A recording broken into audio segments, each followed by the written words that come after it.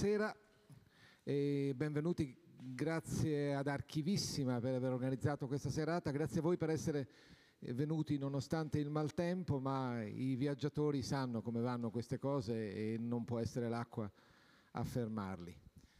Eh, Belzoni e Champollion eh, sono belli da raccontare ad Archivissima perché sono due storie parallele eh, che costruite in due universi paralleli perché ci sono gli Champogliani da una parte che sono quelli che hanno studiato il decifratore e come lui ha, ha scoperto la lingua degli antichi egizi e come e poi nei suoi viaggi è arrivato a Torino nel 1824, cioè 200 anni fa l'anno prossimo, e poi ha fatto la prima grande spedizione vera di egittologia nel 1828-29, eh, la celebre eh, spedizione franco-toscana, e quindi studiano Champoglioni il decifratore. Poi ci sono, eh, adesso va di moda di dire gli underdog, eh, che è una parola che non si può più dire per un certo verso, ma è sempre una parola buona, gli underdog che sono quelli che si occupano di Belzoni, che è sempre stato un po' trascurato dai, dagli studiosi canonici, soprattutto dagli accademici. Eh, la cosa curiosa è che eh, fino a che non, non, è arrivata Silvia e con Silvia abbiamo lavorato insieme, nessuno aveva intrecciato le vite di questi due personaggi che sono coevi e che tutti sapevano eh, essere stati nello stesso posto per sei mesi. E allora se leggete eh, le, le, biografie eh, di, di, Champollion, vi raccontano tutto su Champollion e a un certo punto ti dicono ma sì, nel, nel settembre del 1822, eh, cioè 100, 200 anni fa, lo scorso settembre, eh, Champollion conosce Belzoni perché sono lì a Parigi contemporaneamente. Se leggete eh, la biografia di Belzoni scoprite che ci sono due pagine sull'incontro eh, Champollion eh, e Belzoni e, il biografo, che nella fattispecie sono io, è stato scioccamente distratto dal suo personaggio e non è andato a intrecciarlo con Champollion. Poi con Silvia invece abbiamo intrecciato i due personaggi e abbiamo aperto la porta su un nuovo mondo. Ehm,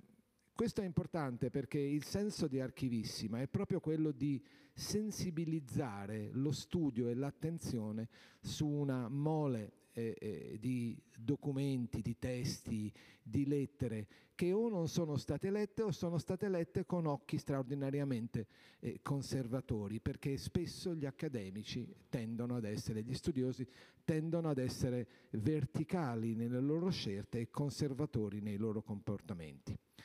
E poi quello che abbiamo fatto con, eh, con Silvia è stato fare un cortocircuito e abbiamo scoperto la storia che vi raccontiamo questa sera, grazie a tutta una serie di documenti, alcuni erano inediti, alcuni erano lì, ma che non erano mai eh, stati letti con gli occhi giusti. E questi erano i preliminari. Eh, comincio io con la storia perché facciamo così, normalmente dovrebbero cominciare le signore, ma devo cominciare io perché devo raccontarvi come ci siamo arrivati, abbiate pazienza. 15 agosto 1818 vi porto nella Valle dei Re, dentro la tomba di Seti I, che eh, Giovanni Battista Belzoni aveva eh, scoperto nel, nell'autunno precedente, nell'ottobre del 1817. Quando Belzoni entra in questa tomba, che è la più bella della Valle dei Re e lo è ancora oggi, visto che se vi capitasse di andare visitare la tomba di Seti costa quanto tre altre tombe, lo sanno e, e ci marciano un po' su,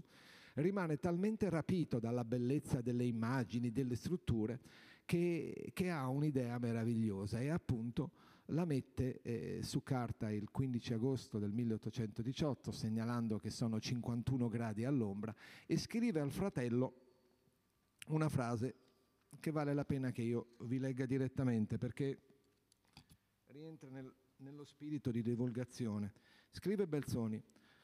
ho preso adunque la risoluzione di estrarre con la cera le impressioni di tutti i bassi rilievi ed avendone una esatta copia in disegno della loro situazione con gli stessi colori, mi sono impegnato di erigere una tomba consimile in Londra, la quale deve essere cosa esattamente eseguita, che non vi si deve trovare differenza alcuna né nella scrittura dei eroglifici o nella situazione delle figure, come pure nei colori, eccetera, eccetera. Questa è l'intenzione di Giovanni Battista Be- è, è l'intuizione di Giovanni Battista Belzoni. Vede questa bellezza e dice facciamo una mostra. Ora questo vi sembrerà straordinariamente normale oggi, ma all'epoca non l'aveva mai fatto nessuno. Eh, tre anni dopo, il primo maggio del 1821, eh, Giovanni Battista Belzoni inaugura nella Egyptian Hall, nome del tutto casuale, ma succede questo, di Piccadilly nel centro di Londra, la prima mostra di egittologia della storia.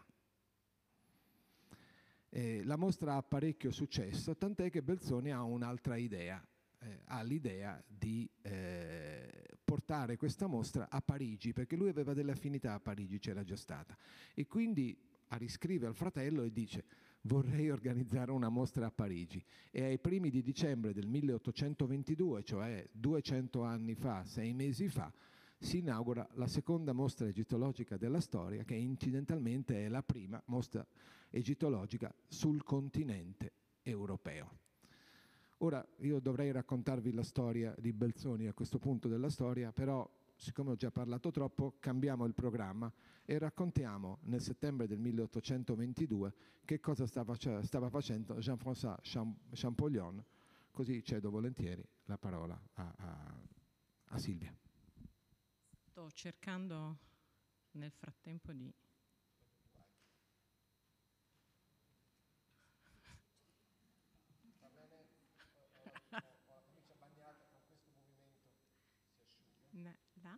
No?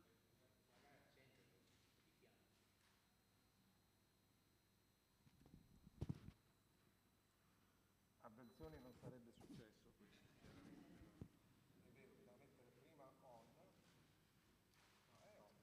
Eccolo, eccolo. Ecco. Jean-François Chambollon. Poi torniamo indietro. Silvia. Bisogna sempre aiutarsi nella l'obiettivo è comune. Eh, dunque, come eh, diceva Marco, eh, eh Belzoni arriva a Parigi eh, per portare, per organizzare la seconda tappa della mostra eh, che aveva inaugurato a Londra nel 1821 e noi sappiamo che Belzoni quindi nel settembre del 22, quindi negli stessi giorni in cui Champollion eh, annunciava al mondo di aver decifrato finalmente i geroglifici, si trovava nella stessa città. Eh, l'incontro forse avvenne un po' più tardi, ma sta di certo che questi due personaggi erano destinati ad incontrarsi. Champollion, come dicevo, eh, come tutti sapete, è il decifratore dei geroglifici, è un'impresa alla quale lui era arrivato dopo tantissimi anni di studi e di ricerche instancabili, iniziate quando era ancora eh, poco più che un bambino, appassionato di eh, lingue, eh, studiava fin da, da piccolo eh, l'ebraico, l'arabo, il siriano, l'aramaico, con l'aiuto del fratello fratello Jacques Joseph, che è sempre stato un po' il suo mentore eh, e che lo ha istruito e guidato per tutta la vita. Eh, e già quando era eh, poco più che adolescente, eh, Champollion si eh, inizia ad interessarsi dell'antico Egitto e quindi con questo dei geroglifici. Eh, questo avviene a Grenoble perché eh, Champollion non era nato a Grenoble, lui era nato in una cittadina del Lot, del Dipartimento del Lot in Francia che si chiama Figeac, eh, ma eh, veniva da una famiglia tutto sommato piuttosto umile, suo padre faceva il libraio però e quindi ha già fin da bambino un certo contatto con il mondo dei libri e poi quando il fratello si trasferisce per lavoro a Grenoble, poco dopo lui eh, lo segue. E lì eh, il fratello riprende eh, l'istruzione di questo bambino, ragazzino, eh, che eh, aveva intuito essere assolutamente superdotato e eh, gli fa un'istruzione di carattere domestico prima poi di ehm, iscriverlo nel liceo imperiale di Grenoble. Eh, sono tre anni eh, in cui eh, Champollion è, ehm, appunto adolescente, tra i 12 e i 14 anni, che lui ricorda come un inferno. Questo eh, liceo dove era costretto a studiare materie che non gli interessavano eh, lo, lo, rende insofferente e ehm, però in quell'occasione eh, i due fratelli conoscono eh, un personaggio che eh, diventerà eh, importante per la crescita di Champollion e che era il prefetto dell'Isère. Ehm, quest'uomo era stato eh, in Egitto con Napoleone Bonaparte, faceva parte del gruppo di quei savant che erano eh, partiti appunto con Napoleone alla volta dell'Egitto e che avevano documentato il paese. Era una missione scientifica che stava a fianco della missione eh, militare ed economica, con scopi militari ed economici, eh, con la quale appunto Napoleone era sbarcato nel 1799 appunto in Egitto. Ehm, questo, questo, incontro apre a Champollion il miracolo e la conoscenza miracolosa di questo mondo lontano e decide da quel momento di interessarsi ai geroglifici che ancora nessuno era riuscito a decifrare. E lo fa in maniera eh, mettendosi veramente a capofitto cercando il più possibile documenti eh, che riportassero le iscrizioni geroglifiche ma il problema è che mancava una chiave di lettura lettura per trovare il modo di comprendere questa scrittura eh, sconosciuta ai più. Ehm, un altro incontro importante che fece Champollion a Grenoble fu quello con un eh, sacerdote, un prete copto che era arrivato a Grenoble appunto tornando dall'Egitto con l'esercito eh, napoleonico. Eh, al pari di Fourier, il, il, personaggio di cui dicevamo prima, anche quest'uomo è stato determinante perché eh, suggerisce a Champollion di dedicarsi allo studio del copto. Ha detto guarda, il copto come ultima tappa, ultima fase della lingua dell'antico Egitto, lingua che ancora oggi si, si usa nella Chiesa copta d'Egitto come lingua liturgica, può aiutarti forse a comprendere i geroglifici. E così sarà. Eh, Champollion si dedica allo studio del copto, poi abbandona Grenoble, arriverà a Parigi sempre al seguito del fratello. Per farvela breve, a, Greno- a, a Parigi frequenterà la chiesa di Saint-Roch, la chiesa nel centro di Parigi, dove va ad assistere tutte le settimane alla messa in copto per imparare il più possibile le parole copte. Dice voglio imparare a parlare questa lingua come conosco il francese, perché solo così potrò forse sperare di trovare il modo di eh, decifrare i geroglifici e eh, insomma diciamo che la tappa poi decisiva di questo deciframento avverrà grazie alla, allo studio della stele di Rosetta che voi vedete raffigurata, stele che conoscete tutti, scoperta nel, eh, nel 1799 in Egitto, è un decreto trilingue, o meglio bilingue in greco, in basso e poi in egiziano antico la parte superiore è scritta in due diverse grafie, il geroglifico nella parte superiore e il demotico, una sorta di grafia corsiva eh, dell'epoca tarda dell'Egitto, nella parte centrale. Eh, la prossima immagine, ecco qua. Eh, qui sono appunto, questo è il fratello col quale, che è stato per tutta la vita un grande sostenitore e aiuto di eh, Jean-François e questo è un estratto della lettera in cui lui dice appunto mi deci- ho deciso di dedicarmi allo studio del copto grazie a questo monaco ehm, eh, che lui incontra appunto a Parigi nella chiesa di Saint-Roch eh, e che gli insegnerà appunto le eh, parole copte eh, grazie alle quali arriverà appunto al deciframento. Eh, Champollion molto probabilmente non vide mai la stele di Rosetta, eh, che voi sapete è conservata al British Museum di Londra perché per quanto fosse stata scoperta dai francesi, poi c'è stata la, la vittoria degli inglesi eh, sulla, sull'esercito eh, francese, eh, quello che rimaneva dell'esercito francese dopo che Napoleone era tornato in Francia e eh, quindi se la presero come bottino di guerra. Ehm, ma i francesi appena scoprirono questa stele che bisognerebbe in realtà chiamare porzione di stele, perché voi vedete ha questa forma strana perché è un frammento di una stele molto più grande che si è perduta, capirono subito gli scopritori, che erano dei membri dell'esercito napoleonico, che poteva essere importante per il deciframento e ne fecero fare delle copie già in Egitto, copie a eh, delle litografie, dei calchi e tra questi a destra vedete una, eh, quello che si chiama in francese eh, estampage à sec eh, e una, una copia inedita che ho trovato negli archivi qua di Torino, eh, l'archivio di Stato, e che costituisce una, eh, una, copia fatta su una carta un po' spessa, tipo la, la carta assorbente che si usava a scuola da bambini, pressata sulla superficie della, della stele e che riporta quindi in rilievo, ovviamente eh, capovolta l'iscrizione e che possiamo pensare eh, sia stata usata da eh, Champollion. Quindi non sappiamo, non è certo che lui abbia visto la stele, certo aveva a disposizione queste copie di questo tipo. Um,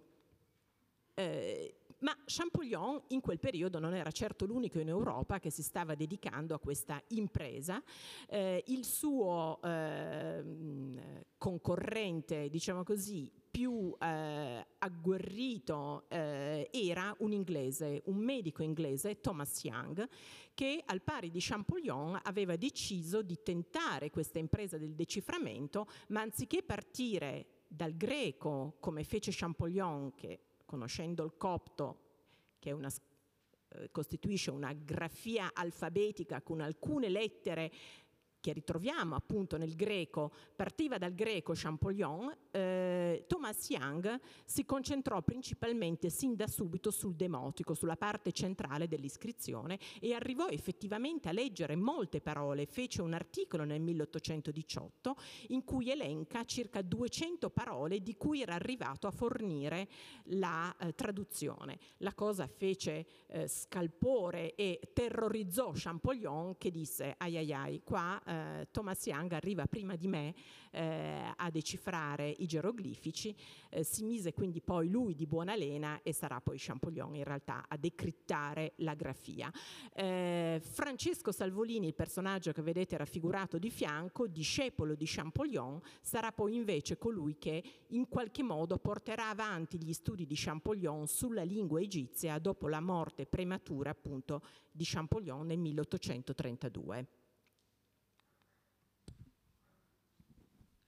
E questo è Giovanni. Però torniamo indietro perché abbiamo cambiato l'ordine del, della storia. Giovanni Battista Belzoni nasce a Padova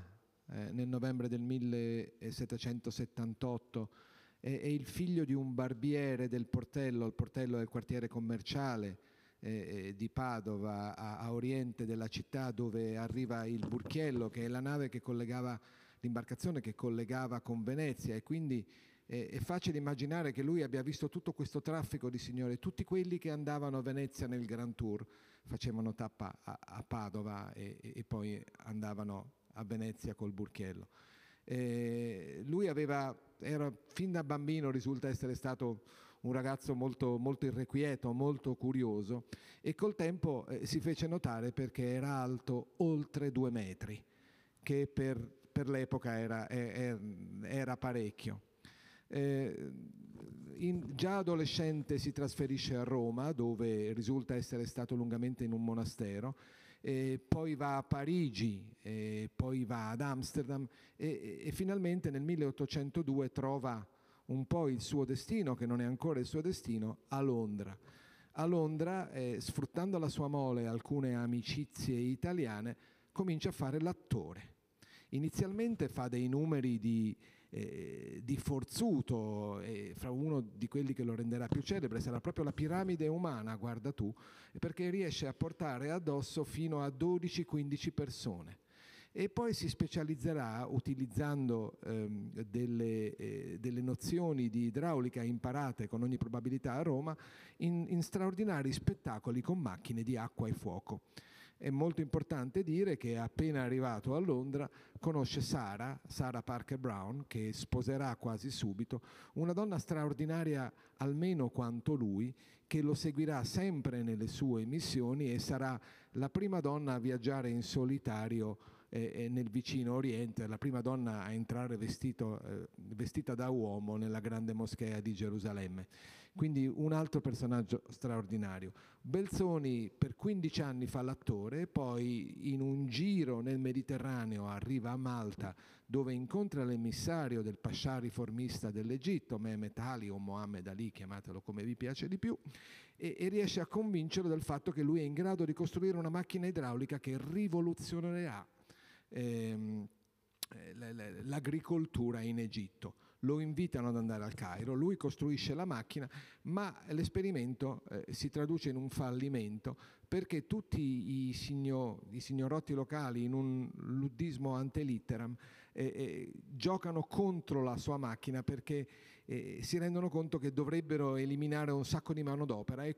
non è eh, buona, questa non è una buona idea nella gestione del, del, dell'economia e del potere locale. Belzoni non si perde d'animo e sfruttando un paio di nuovi arrivi in città, segnatamente il console britannico ad Alessandria, Henry Salt e il grande viaggiatore svizzero eh, eh, John Ludwig Burkhardt, che è quello che aveva appena riscoperto Petra ed era stato fino in Alta Nubia, eh, in solitario, vestito come, come un locale a, a, a cavallo di, di, di un cammello,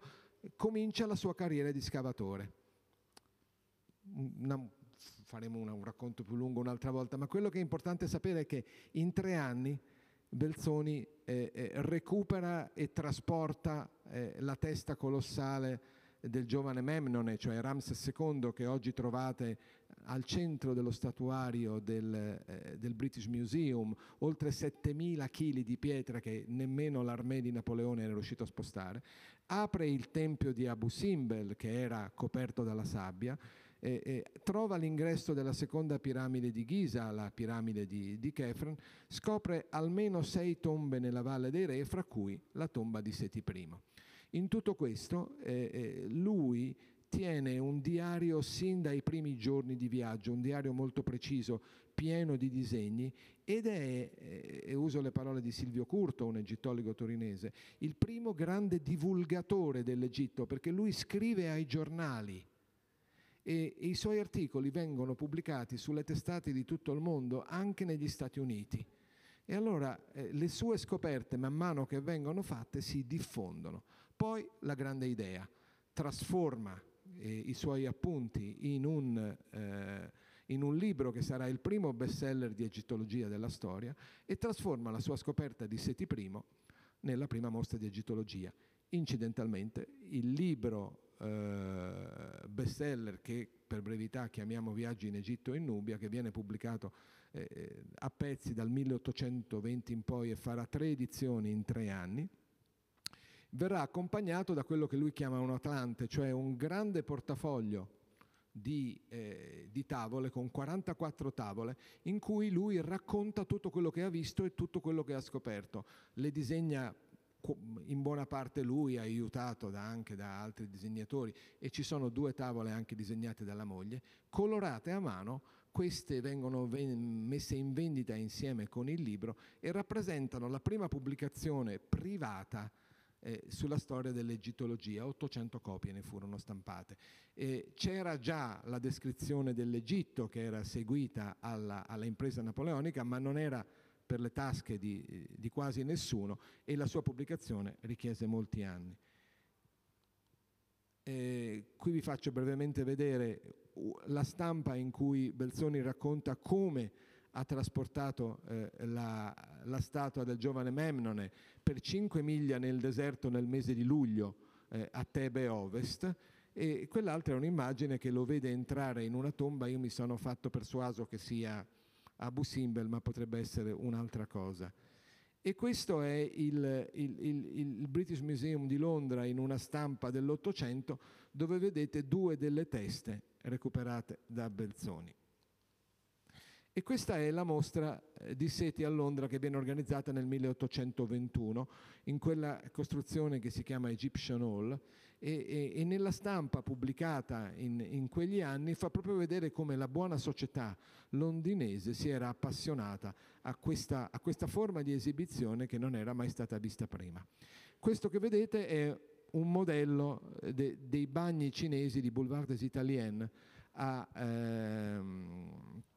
a Parigi, che era uno stabilimento termale e, alla fine del Settecento andavano molto di moda, dove i parigini potevano andare a fare i bagni, c'era un piccolo ristorante, c'erano piccoli servizi, è un, è un genere di, di ehm, di istituzione che è rimasta anche molto frequente in Italia fino a, pochi anni dopo il, po- il, dopoguerra, cioè servizi riuniti. Questo fatto in stile cinese è veramente peculiare, talmente bello che lo hanno buttato giù nel 1858, se non ricordo male. Champollion ve l'ho già fatto vedere, oramai sappiamo tutti.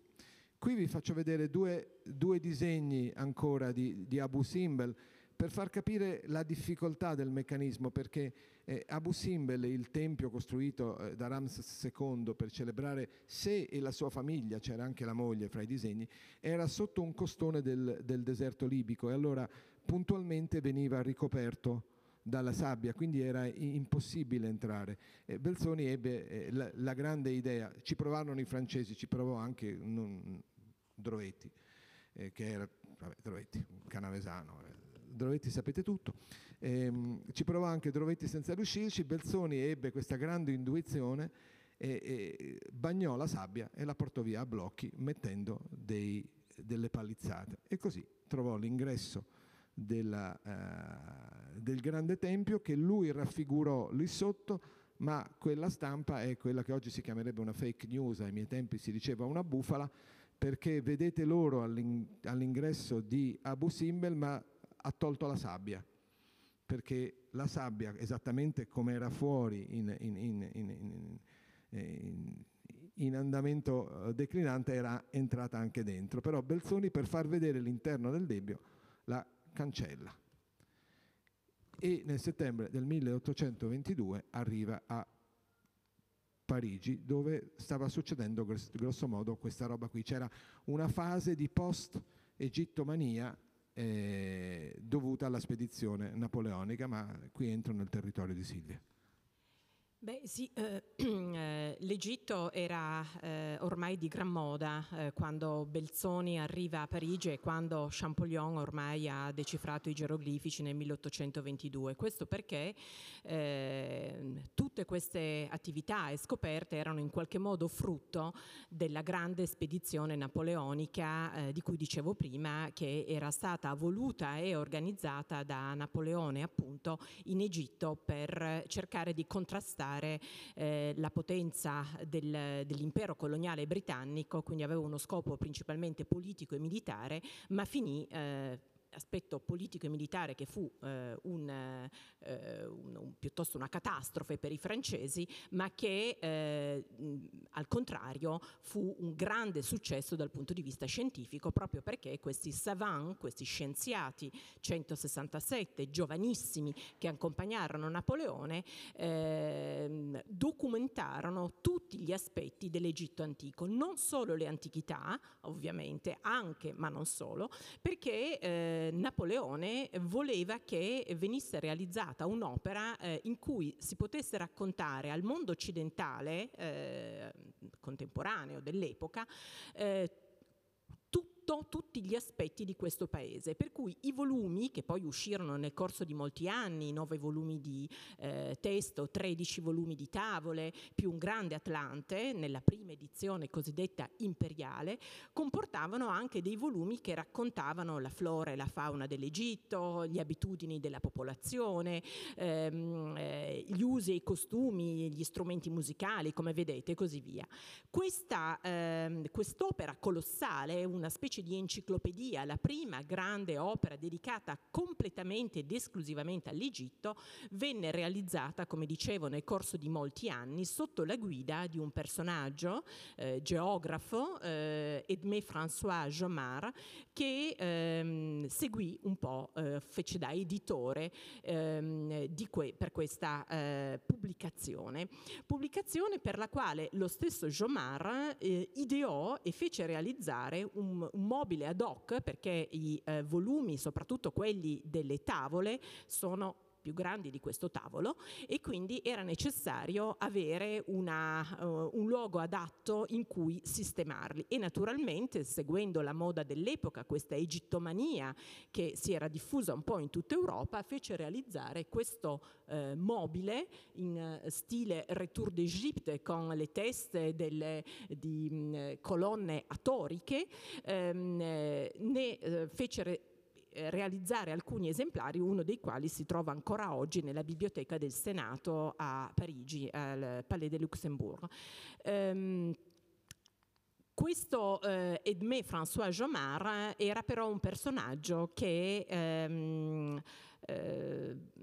non, non, non, amava né Champollion né Belzoni. Ehm, eh, Champollion lo aveva criticato per alcune sue interpretazioni e dunque lui eh, a sua volta si vendicò dicendo che la, la, il, il, deciframento di, eh, dei geroglifici da parte di Champollion ehm, lasciava, eh, lasciava mh, mm, insomma, eh, lo criticò, lasciava dei punti in sospeso e poi anche nei confronti di Belzoni che eh, proprio a proposito della mostra che Belzoni porta a Parigi dice questa mostra espone solamente delle bêtises, delle stupidaggini.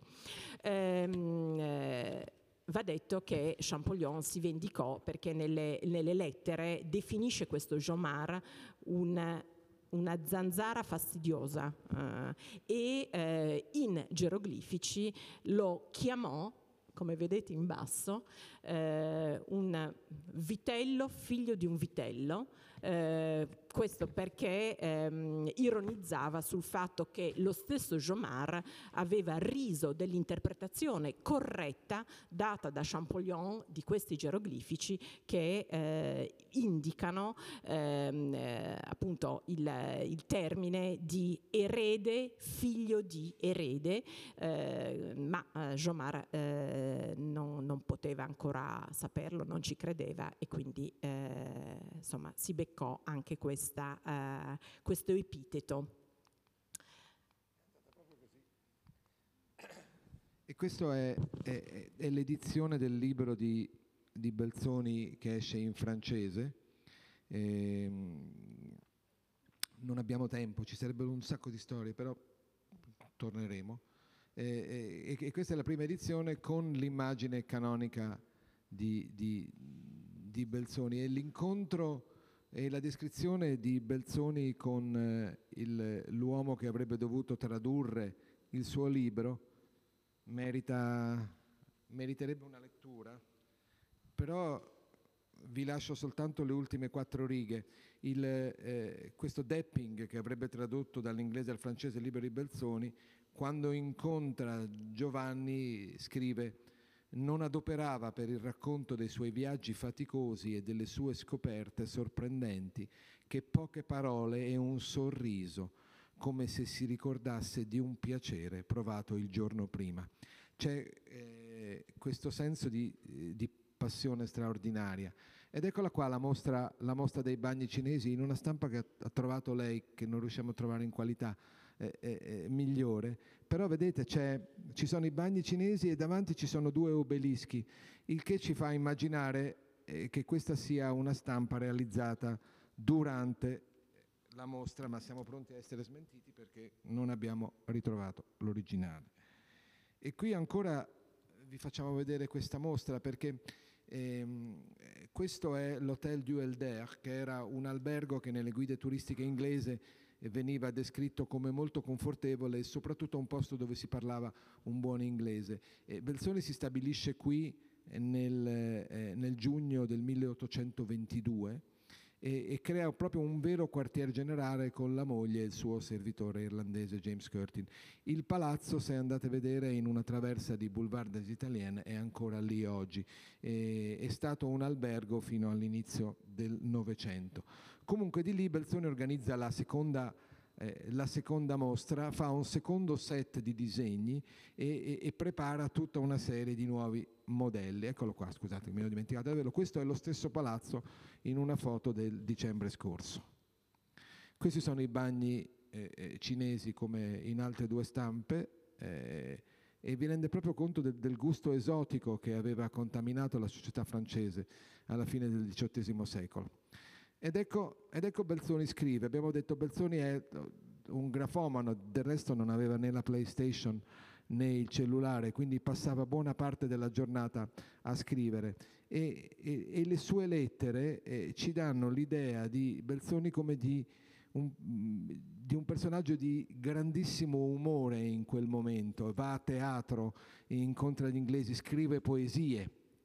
E, è veramente di di umore spettacolare in quel momento, perché sente che sta finalmente diventando famoso, anche perché è uscita la lettera a Messie Dacier di cui vi parlava prima eh, Silvia, che è quella in cui viene annunciata la scoperta dei geroglifici. Eccolo qua. Eh, e quindi i due sono destinati a conoscerci necessariamente, perché eh, tutti e due stanno sfidando il sistema imperante dei, dei savant, tutti e due sono nemici di Jomar, quindi non hanno altra scelta che non mettersi insieme. Uno perché ha bisogno di materiale da decifrare e provare la sua capacità, l'altro perché ha bisogno di una sponda eh, eh, tecnica per dimostrare la qualità del suo lavoro. Eh, per la mostra di Parigi che si inaugura nel, eh, nel dicembre dell'822, come dicevamo prima, viene fatto un, un, piccolo catalogo e il catalogo viene redatto da eh, Champollion che però non firma il catalogo di nuovo per un problema di, eh, eh di diplomazia culturale. Eh, Belzoni aveva avuto dei soldi da, da un nobile inglese che era stato criticato da, da, da Champollion, quindi le due cose non vengono, uh, non permettono a Champollion di firmare il, il, il, il catalogo. Dopodiché arriva questo documento, questo documento è un documento importante, perché, e poi adesso Silvia ci racconta, eh, eh, Belzoni e Champollion si conoscono all'inizio dell'ottobre del 1822, ehm, diventano amici secondo i bibliografi minori e fra loro c'è proprio un magnetismo, finché salta fuori questo pezzo di carta che era rimasto nascosto per un sacco di tempo, che risale ai primi di dicembre del 1822, nel momento in cui si sta inaugurando, in cui eh, ehm, Champollion scrive a un, a un, disegnatore francese e gli dice «Je ne suis en tout cela que les chargés d'affaires de Belzoni» e dice in tutto questo io non sono altro che l'incaricato d'affari dell'agente commerciale, l'agente d'affari di Belzoni. Questo è il documento eh, che qui a Torino viene fatto vedere per la prima volta, che dimostra eh, il rapporto stretto fra i due. Eh, dimostra che Champollion era parte in causa diretta del, eh, dei, dei lavori. E poi comincia la mostra, ma c'è un altro documento che è una lettera. No, torniamo indietro. Più avanti c'è? Uh, no, questa qui adesso la racconti tu. No, c'è un altro documento interessante di una lettera di eh, Champollion al fratello, che eh, era il suo punto di riferimento, in cui gli dice eh, ho incontrato Belzoni, è venuto a trovarmi, è, è un fort bon diable, è davvero un bravo, un bravo, tipo, un buon diavolo, ed è venuto a trovarmi nello studio. E, e, e, quindi è di nuovo un altro segnale di questa consuetudine fra lui. Fra l'altro lo studio era uno studio che Champollion condivideva con il eh, pittore francese Vernet, che era uno dei pittori napoleonici per eccellenza. La mostra comincia e ne parlano i giornali, e, e saltano fuori altre lettere. Eh, sì, allora questa è una lettera che eh, ho, ho, scoperto, eh, perché in realtà mi è stata comunicata da una collega eh, che lavora sugli archivi eh, della, di, di, Champollion a Grenoble, Karine Madrigal, ehm, che probabilmente è datata, è molto difficile da, da capire, la data non è eh, giugno, ma sembra piuttosto che sia febbraio, quindi 14 febbraio 1823, ed è una lettera che se riuscite a leggere è scritta eh, sì in francese, ma eh, da Belzoni, ma mh, così come si pronuncia il francese. Ehm, quindi ehm, di un uomo che era sicuramente non colto, non letterato, ma che era molto versatile nelle lingue. E la cosa interessante di questa lettera, che lui scrive da Marsiglia, quindi aveva già abbandonato, aveva già lasciato eh, Parigi e eh, era probabilmente in viaggio verso l'Africa dove voleva andare per scoprire la mitica Timbuktu, città dove eh, non arriverà mai perché morirà eh, in, in, Nigeria. Ehm, ecco, lui scrive da Marsiglia questa lettera al fratello di Jean-François Champollion, Jacques Joseph, e eh, praticamente lo incarica di vendere eh, eh, i pezzi della mostra di Parigi, quindi le riproduzioni, i calchi eh, e parla anche di modelli e di statue, quindi è possibile che nella mostra fossero esposte anche delle statue, qualcosa dei reperti quindi che, che, che Belzoni aveva forse portato dai, dal suo viaggio, dalla sua lunga permanenza in Egitto, sta di fatto che eh, chiede a Jacques Joseph di vendere tutto, di trovare qualcuno che compri eh, in una vendita privata o in una vendita pubblica. Eh, dice ti darò una parte ovviamente del guadagno, se qualcuno qualcuno fosse anche interessato a tenere ulteriormente aperta la mostra, per me andrebbe bene. Eh, è probabile quindi che lui volesse disfarsi di tutto, ormai aveva altre mete, altre, eh, altri capitoli nella sua vita che voleva esplorare appunto l'Africa, l'Africa eh, della zona centrale e eh, probabilmente sperava con questi soldi, e dice fai poi riferimento a James, James Curtin, eh, per, per, tutti i dettagli, eh, probabilmente per poter sostenere economicamente la sua famiglia e tra questa naturalmente anche eh, la moglie, ehm, la, moglie, che era rimasta eh, in, in Inghilterra. Sì, fra l'altro abbiamo trovato una copia del catalogo, quel libricino verde che abbiamo fatto vedere prima della mostra, eh, che è in testo in francese, in cui vicino ad alcuni eh, eh, articoli c'è scritto to be disposed, to be disposed, to be disposed. E, e quello era class- la classica prova del fatto che girando per la mostra era stato deciso quali pezzi vendere, quali pezzi non vendere. E già la parte della mostra britannica era stata liquidata per avere dei soldi. Comunque, e questo era Belzoni non aveva, non aveva, nessuno che lo finanziava, non c'era neanche il PNRR, quindi, eh, che avrebbe aiutato in quel momento. Comunque vada, la, la mostra è la storia di un successo. E brevemente qui vedete eh, un, un po' di recensioni dei giornali dell'epoca che raccontano quanto, quanto fosse andata bene questa, questa mostra, perché c'era proprio la sorpresa per la qualità dei pezzi e proprio l'impressione eh, di ritrovarsi in Egitto. C'è, c'è, un, c'è un mio collega dell'epoca che scrive una frase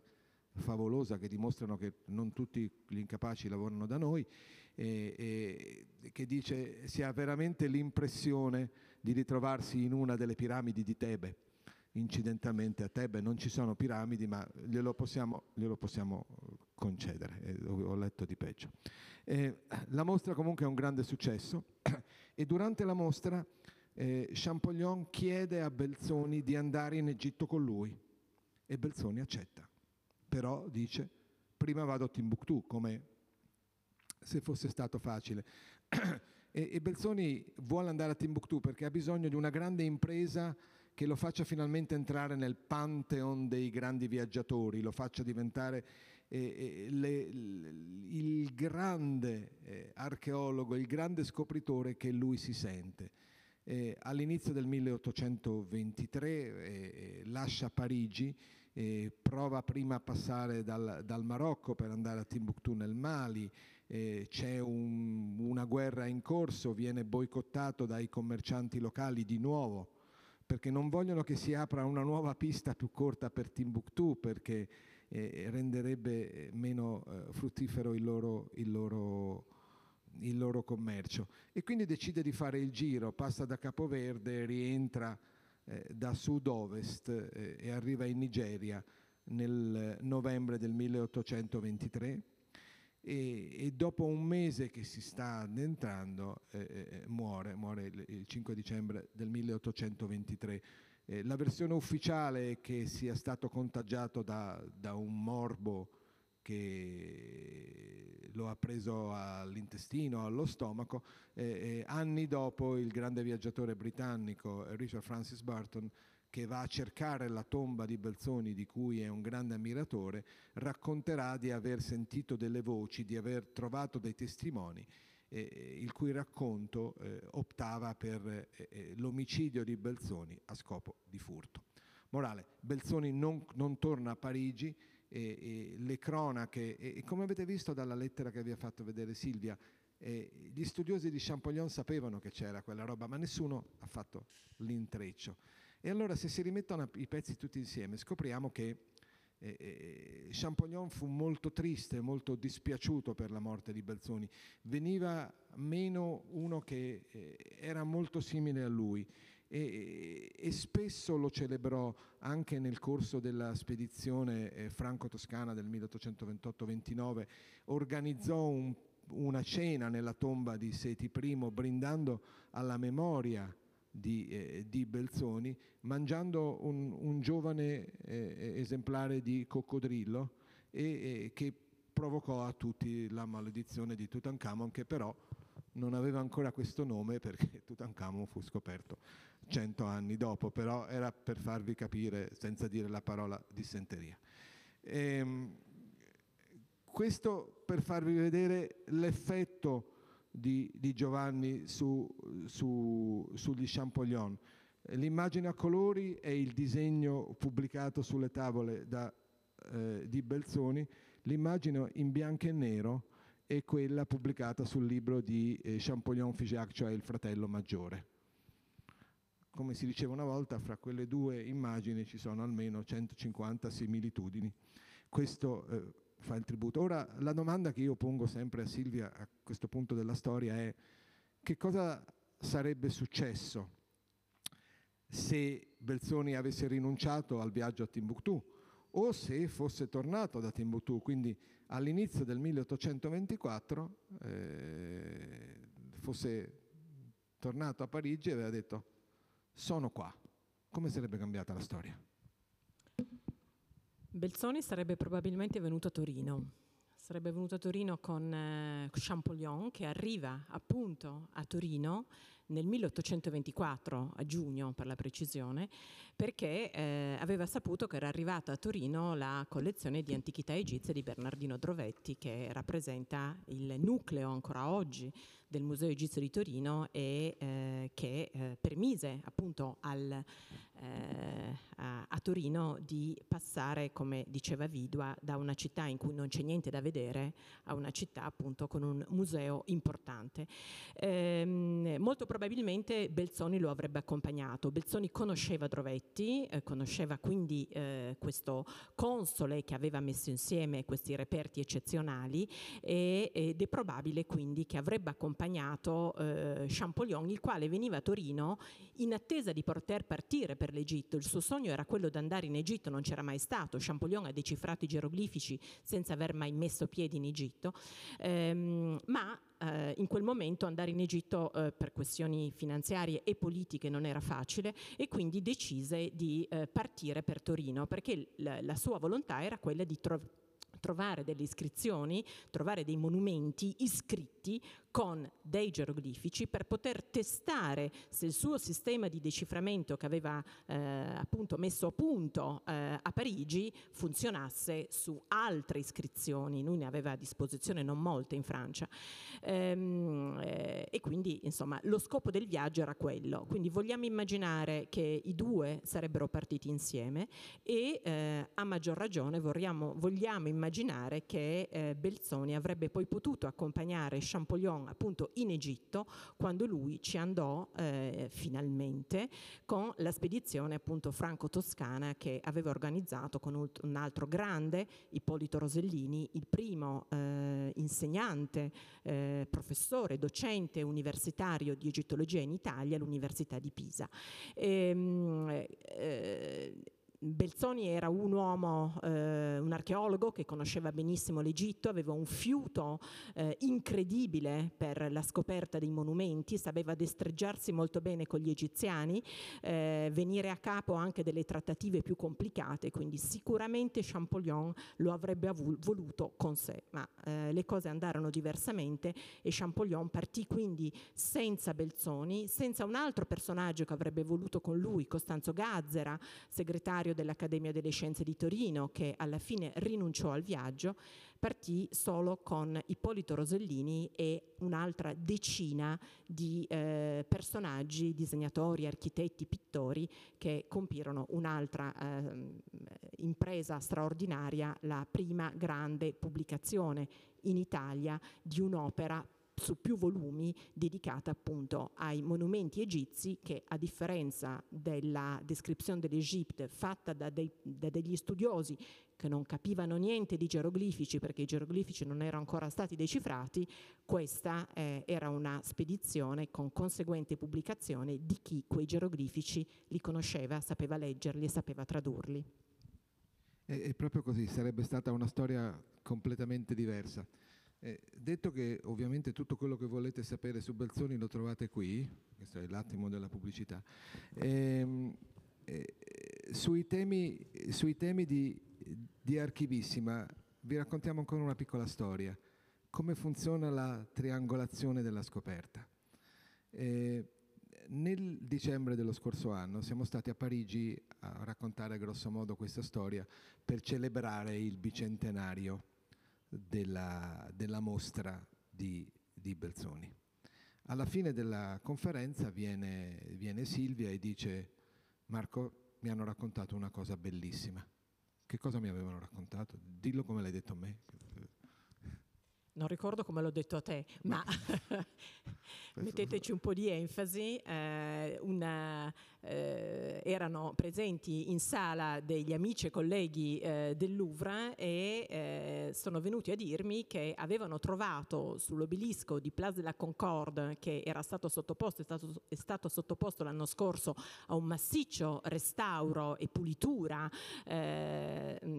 quindi con delle impalcature che arrivavano fino in cima, i restauratori del Louvre, che sono colleghi con i quali lavoro in Egitto, hanno trovato il graffito con il nome di Belzoni appunto su una faccia del, eh, dell'obelisco che si trovava un tempo davanti al Tempio di Luxor e che poi è stato donato ai francesi, pare che sia stato lo stesso Champollion a dire tra i due obelischi quello che voleva eh, che fosse portato a Parigi e con un viaggio lungo rocambolesco eh, nel 1836 poi l'obelisco venne innalzato in Place de la Concorde dove si trova tuttora Sicilia e eh, è stato trovato quindi la, la, questo nome di Belzoni inciso, un nome che nessuno aveva mai visto prima ehm, e tra l'altro insieme al nome di Belzoni un altro nome che sto cercando di, di, di studiare eh, di un personaggio che eh,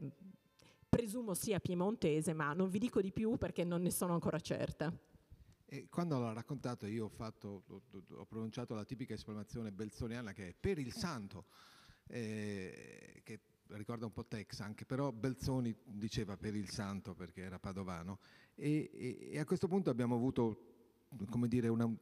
una visione perché Belzoni eh, recuperava le statue con in mano un firmano concesso dal, dal Pascià Mohammed Ali.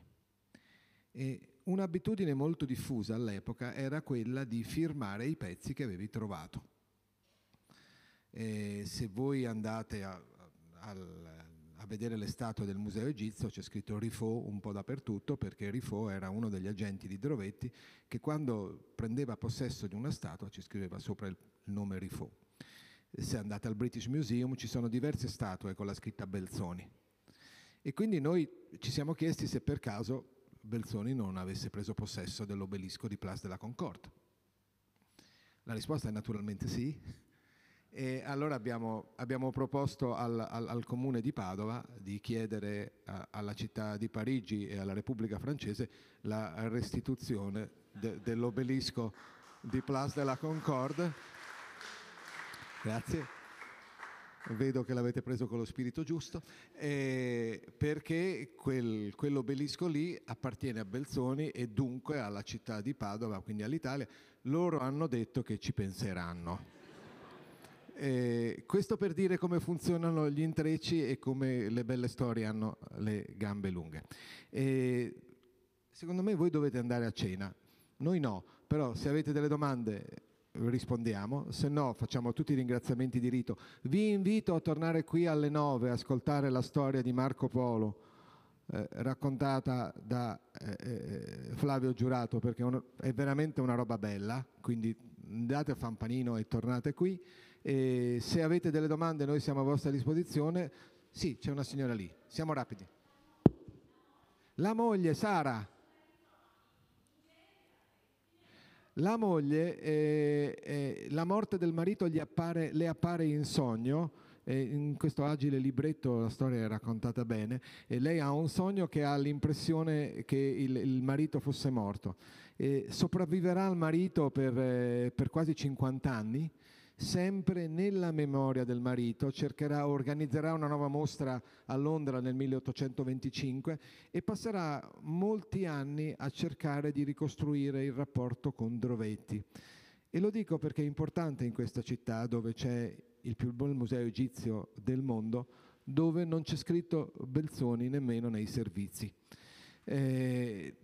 perché uno lo può fare per spregio sulla carta igienica, ci scrive Belzoni, e invece no, voi entrate, trovate Pocock, trovate Barton, trovate eh, eh, eh, Norden, ma non trovate Belzoni. Eh, Sara Belzoni scrive a Drovetti dicendo bisognerebbe mettere insieme le ragioni dei vivi con quelle dei morti, come dire facciamo pace, la causa è comune. E, è una delle poche lettere eh, eh, a Drovetti di cui non abbiamo la risposta, ci sono due o tre epistolari alti così di Drovetti quella lettera non è mai stata trovata. Eh, presupponiamo che sia andata persa, per, siamo garantisti da questo punto di vista. E, mm, la moglie eh, cercò di ristabilire questo rapporto e sarebbe bello che anche nel Museo Egizio di Torino all'inizio, dopo Norden, c'è anche questo piccolo signore che ha fatto tutte queste cose, però per ora niente. E, e, e la moglie eh, visse sempre, eh, prima a Londra, poi a Bruxelles e, e, e poi, guarda caso, e poi ehm, andò eh, a vivere eh, a, a, Jersey dove morì. Eh, la tomba di eh, Sara è stata ritrovata 5-6 anni fa da una coppia di studiosi dell'isola che quindi ci hanno dato un tassello in più, ma l'hanno cercata per anni e anni. Un'altra cosa che è uscita fuori negli ultimi mesi, in realtà negli ultimi anni, è il certificato di matrimonio di, di Sara con, eh, con Giovanni in una chiesa eh, di Londra da cui abbiamo appreso il cognome di Sara che fino a quel momento era sbagliato eh, per colpa di un errore di transizione belga. Allora, lei ha viaggiato sempre col marito fino a un certo punto in cui ha detto ma basta, non ci sei mai e quando ci sei sei al telefono. Sta... no, in realtà dice non ci sei mai e quando ci sei sei lì che scrivi lettere ai giornali ed è partita con James Curtin il, il, il, e sono andati fino a Gerusalemme. Esiste un bel libro che si chiama Viaggio in Egitto e Terra Santa con la pubblicazione del diario di, eh, di Sara. Eh, eh, ha notato che vi racconta tutta la storia, c'è anche quello. Non ho capito? Ha viaggiato da sola a marito vivo, sì, e mi rendo conto che di questi tempi non si può più fare, però una volta la moglie poteva uscire di casa e, e viaggiare da sola. Ho, mi scusi, non la sei, sono anche sordo. Sì, è la, è, è la, prima donna a fare questo e il suo diario è il primo diario di viaggio al femminile in Egitto e in Terra Santa. C'è, costa poco, vi consiglio di andarlo a vedere. Professor Roccati. Professor Roccati, il,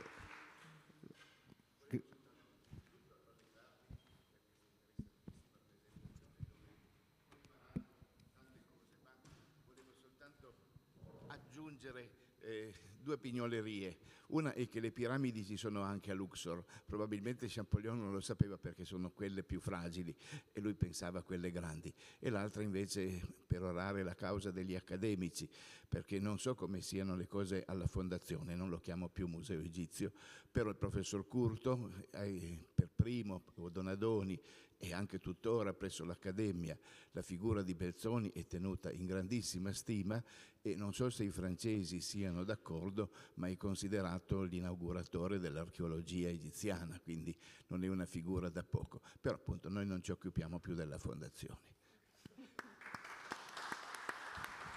Grazie professore, sempre, sempre sia lodato. Direi.